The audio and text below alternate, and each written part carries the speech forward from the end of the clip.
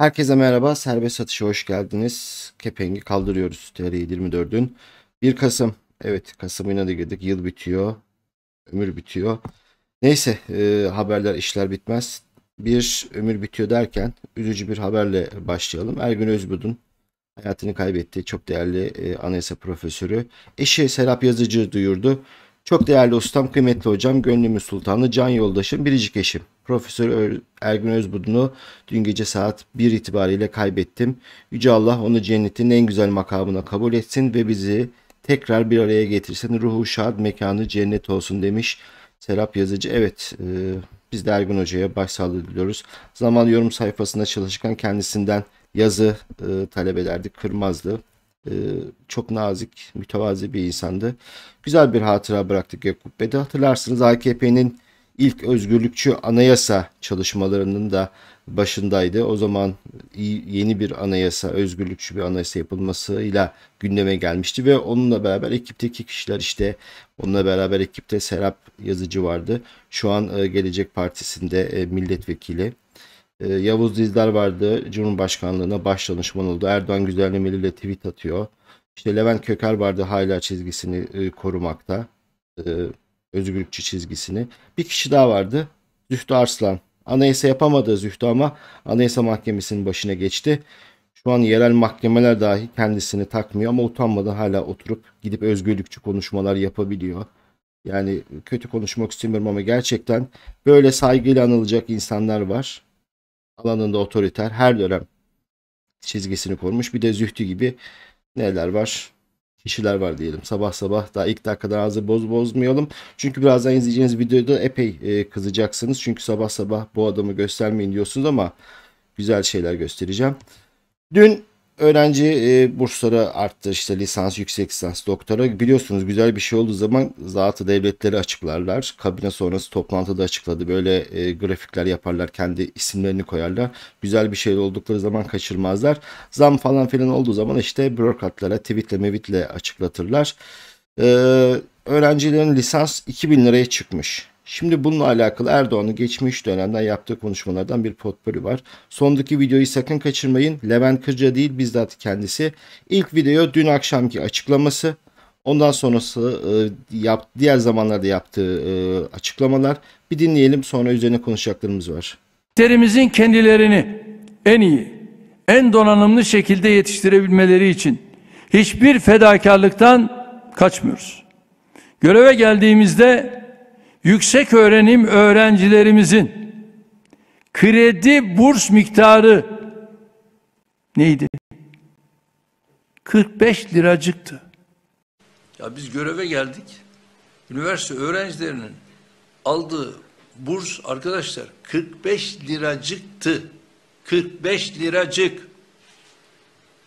Ya elinize dilinize dursun ya. Şu anda bunlar 650 liraya çıktı. Nereden nereye geldi? Bakın biz göreve geldiğimizde hatırlayın. Bir defa üniversite öğrencilerinin aldığı burs neydi? 45 liracık. Doğru. Burs nereden nereye? 45 liracık. Sevgili gençler, siz hiç 45 lira burs aldınız mı? Ya, göreve geldiğinde burs 45 liracıktı. Şimdi nerede burs? Ya. Bir de buna tabii beslenme var.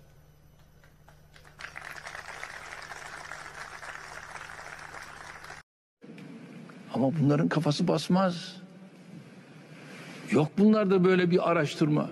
Ben ekonomistim.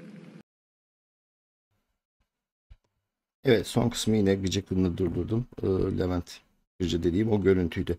Evet 45 liracık 45 liracık hep aynı ifadeleri. Göreve geldiğimde 45 liracık bu da yeni miktarlar. Şimdi bu yıllara göre ne olmuş isterseniz bir ona bakalım. Bu yalanı bir dinleyelim, görelim. Evet 40 2002 yılında 45 liraymış burs. Yanlarında da kırmızı da değerli izleyiciler bu işin dolar karşılığı. Doğruluk payı adlı site. Bu hep tartışma olduğu için geçen yıl bunu yapmıştı. Bu sene de yeni e, artışla beraber yaklaşık 70 dolar ama doların artmasıyla beraber düşecek. işte 67, 65, 60 lira düşecek. Şimdi grafikte dikkatinizi çekmek istediğim yer şurası. 2012 e, grafiğin ortasına bakarsanız 2012, 2013 145 dolar. 147 dolar yani öğrenci e, bursları 145 doları görmüş, 147 doları görmüş. Hep diyor ya 2002 göreve geldiğimde, göreve geldiğimde. E peki 2012'de görevde kim vardı? Yine sen vardın. Niye onu baz almıyorsun?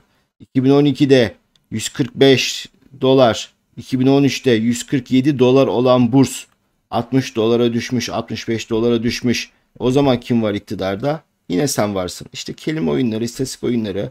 Nedense bu 2012-2013 sonrası hep Türkiye'de işler kötü gitmiş. Ne olduysa acaba, neler yaşandıysa bakın bütün istatistiklere, bütün parametrelere bakın. 2013'ten sonra Türkiye felakete doğru adım adım gitmiş. Hep o kırılma anlarında. Evet güzel bir şey olduğu zaman kendisi açıklar ama hiç bunları da yarmaz işte. Bursların e, karşılığını görüyorsunuz. Yani öğrencilere verilen bursla öğrenci ev araba almayacak tabii ki. Ama bir insani yaşam kriteri diye bir şey var. Bugün asgari ücret 10 bin civarında. Öğrenciye veriyorsun 2 bin lira. Özellikle büyük şehirde olan öğrenciler ne yapsın? Ev kiralar uçmuş 10 bin lira. Kümes gibi yerlere 5 bin lira istiyorlar. Çocuk 2 bin lirayla nasıl geçinebilir?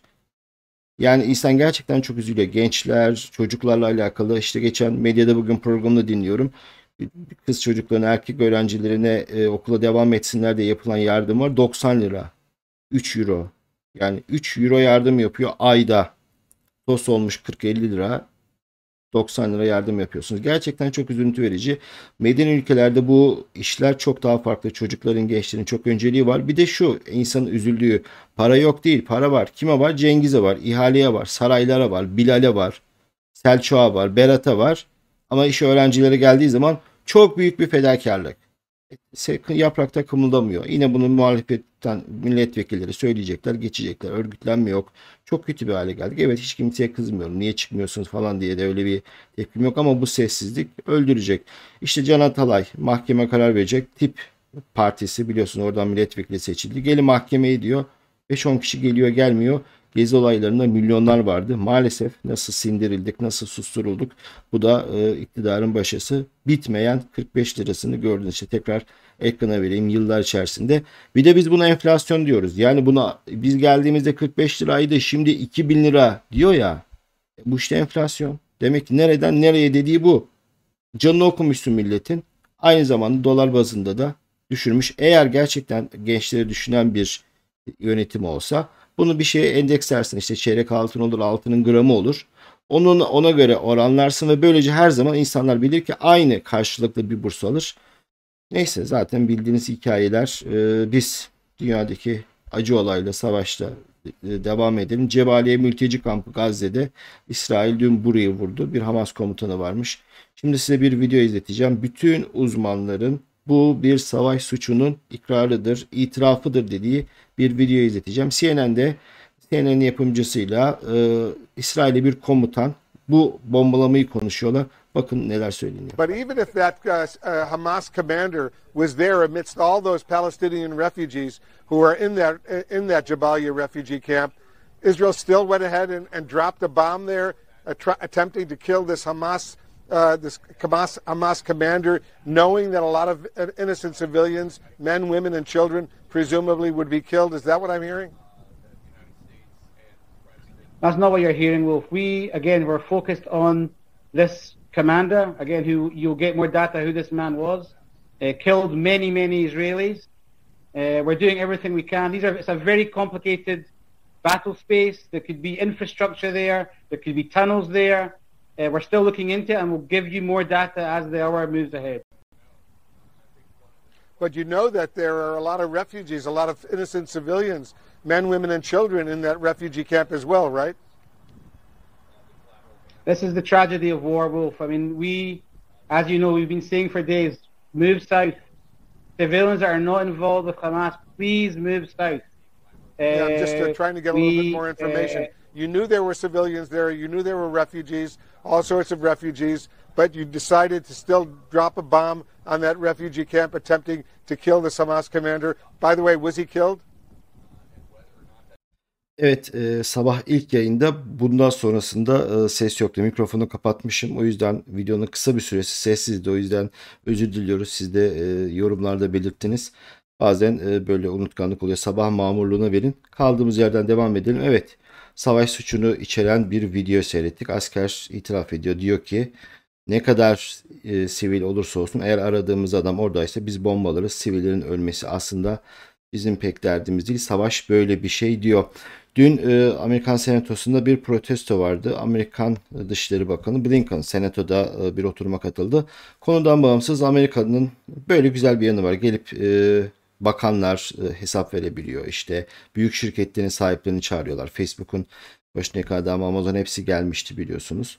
Senatörler de soru soruyorlar. E, Blinken'a protesto vardı. Elleri kırmızı boyalı, kanlı, ellerin kanlı dedi bir grup savaş karşıtı. Amerika'nın Gazze'deki sivil ölümlere karşı olan sessizliği ve İsrail'e olan koşulsuz desteğini protesto ettiler. Bu da e, fotoğrafları böyle yansıdı. Blinken'ın e, görevde ayrıldıktan sonra anılacağı fotoğraflardan biri oldu.